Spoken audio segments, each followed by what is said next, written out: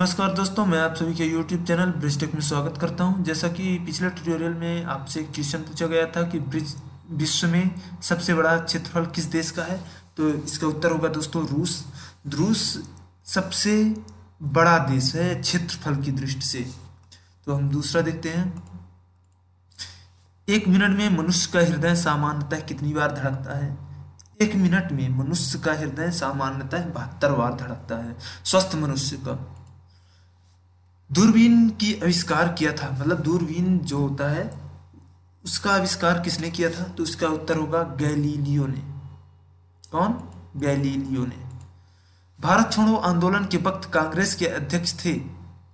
भारत छोड़ो आंदोलन के वक्त कांग्रेस के अध्यक्ष कौन थे? मौलाना Abul Kalam Azad. Maulana Abul Kalam Azad. Air force technical college कहाँ है? एयरफोर्स टेक्निकल कॉलेज कहाँ है? तो उत्तर होगा बेंगलोर में। बेंगलुरु में एयरफोर्स टेक्निकल कॉलेज है। भारत में टेबल टेनिस एसोसिएशन कब बनाया गया था? भारत में tennis table table tennis association कब बनाया गया था? उत्तर उन्नीस सौ ईस्वी में।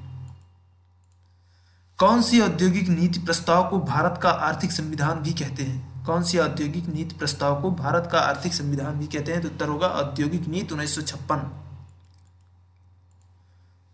शुद्ध सोना कितने कैरेट का होता है? शुद्ध सोना 24 कैरेट का होता है। कितने कैरेट का?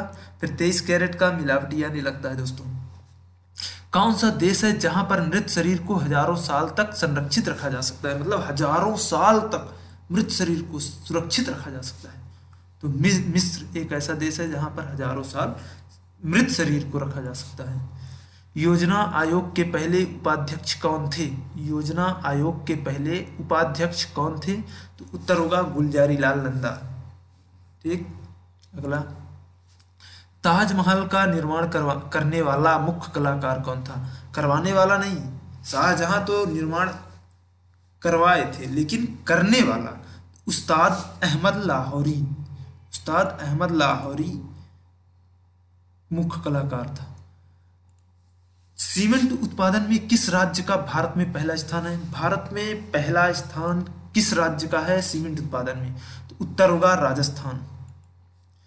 राजनीतिक दलों का पंजीकरण किसके द्वारा होता है? तो राजनीतिक दलों का पंजीकरण निर्वाचन आयोग द्वारा होता है। राष्ट्रीय विकास परिषद का गठन किस साल किया गया था? राष्ट्रीय विकास परिषद का गठन 6 अगस्त उन्नीस सौ बावन में किया गया था। भाषा की सबसे छोटी इकाई क्या है? यदि आपको कोई लैंग्वेज सीखनी है तो उसकी सबसे छोटी इकाई क्या होती है? तो उसकी वर्ड वर्ड हिंदी में लिंग का निर्धारण किससे होता है? संज्ञा से। ठीक? अब आपके लिए आज का एक नया क्वेश्चन है, भारत के प्रथम प्रधानमंत्री कौन थे? आपको कमेंट सेक्शन में इसका आंसर देना है कि भारत के प्रथम प्रधानमंत्री कौन थे?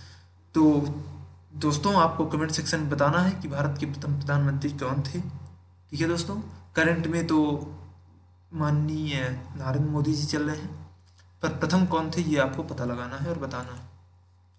आपको यदि यह वीडियो पसंद आ रहा है तो हमारे वीडियो को लाइक करिए अपने दोस्तों के साथ शेयर करिए और यदि आपने अभी तक हमारे इस चैनल ब्रिस्टेक को सब्सक्राइब नहीं किया तो सब्सक्राइब करिए ताकि आपको नए वीडियोज़ की अपडेट मिलती रहे। इस तरह की वीडियो से आप जुड़े रहें। और कमेंट ज़रूर करिए दोस्तों, इसलिए कि आपको क्वेश्चन के आंसर आते हैं या नहीं आते हैं, ये चीज़ जानकारी होना बहुत ज़रूरी है और आपको, आपका रिवीजन होता रहेगा। तो चलिए दोस्तों, मिलते हैं हम आपको अगले ट्यूटोरियल में, तब तक के लिए जय हिंद।